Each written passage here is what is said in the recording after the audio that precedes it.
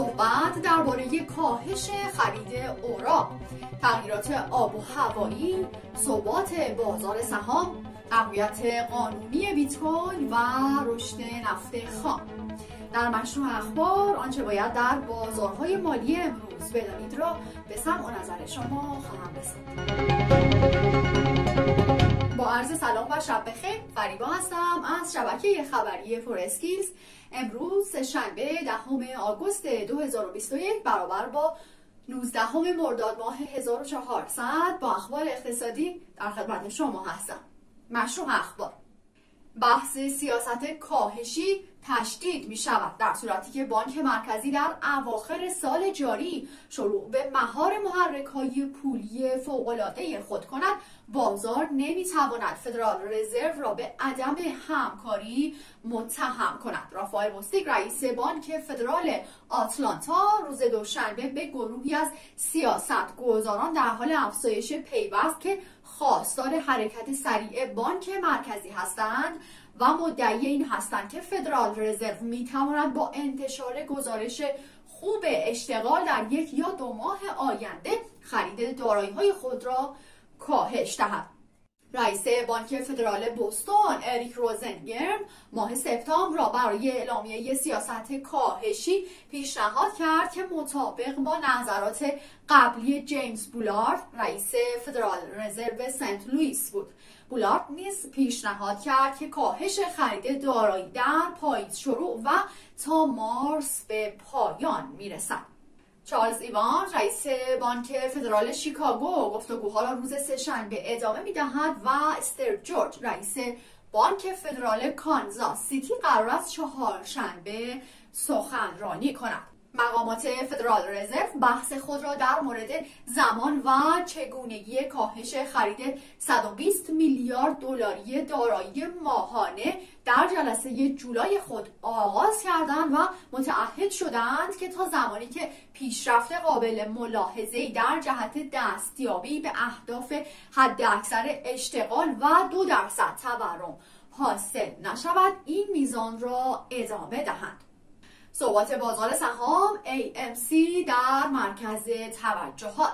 سهام ایالات متحده تقریبا بدون تغییر بازگشایی می شود و سرمایه گذاران هنوز ارقام سود جاری شرکت ها را بررسی می کنند امروز و در شروع بازار شاخص نزدک 5 دهم درصد افت کرد. در حالی که S&P 500 بدون تغییر و داو جونز با 3 دهم درصد رشد معامله می شدند پس از آن که شرکت سینمایی زنجیره‌ای AMC Entertainment پس از اتمام روز دوشنبه اعلام کرد ضرر کمتری نسبت به انتظارات داشته مورد توجه قرار گرفت و همچنین اعلام کرد که در سال جاری بیت کوین را در همه مکانهای ایالات متحده میپذیرد.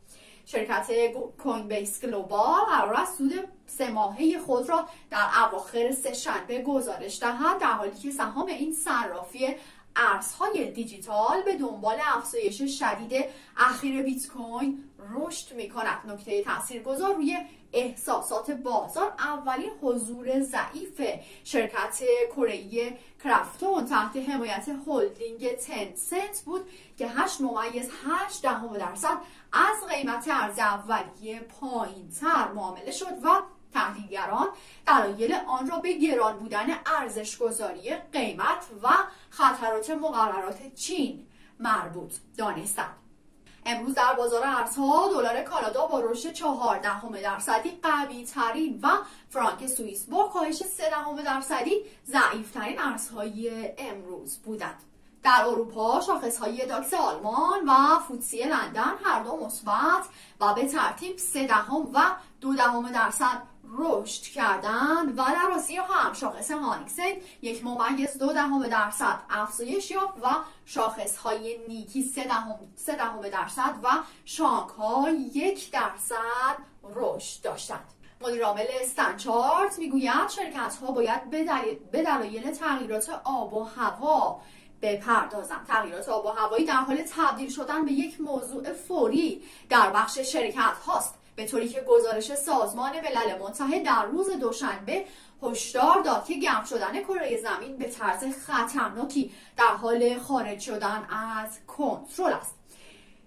بیل وینترز مدیر عامل سنچارت روز سهشنبه در رویدادی گفت شرکت ها نباید برای دستیابی به توافق در اجلاس جهانی تغییرات آب و هوایی در ماه نوامبر به دولت ها متکی باشند بلکه باید خودشان اقدامات بیشتری را انجام دهند ستنچارت گفته است که هدف آن این است که شرکت تا سال 2030 و شرکت های زیر مجموعه آن تا سال 2050 به میزان انتشار کربن صفر برسند بیت کوین در امریکا از نظر قانونی تقویت می شود. بیت کوین بزرگترین ارز دیجیتال بر اساس ارزش بازار با انتشار اخباری مبنی بر توافق قانونگذاران امریکایی در مورد مالیات بر ارزهای دیجیتال دوباره در حال رشد است.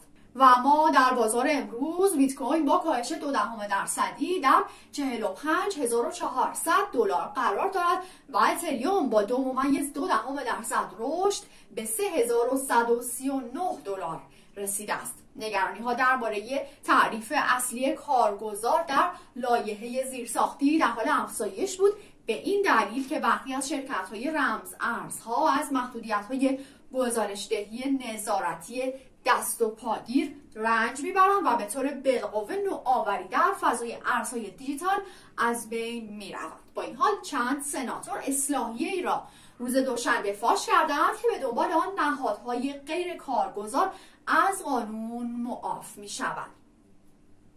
گزارش های تایید نشده ای وجود دارد مبنی بر اینکه قول خورده فروشی آمازون در حال آماده شدن برای پذیرش ارز دیجیتال به عنوان پرداخت کالا و خدمات خود در آینده نزدیک است. و اپل افزودن بیت کوین به ترازنامه شرکت را بررسی می کنند با این وجود فشار مقامات همچنان ادامه دارد و واشنگتن پست گزارش می‌دهد که جنت یلن وزیر خزانه داری ایالات متحده نسبت به اصلاح احتمالی لایحه زیر ساختی که برخی شرکت های ارز دیجیتال را از الزام گزارشدهی کارگزاران مستثنا می کند اعتراض کرده است.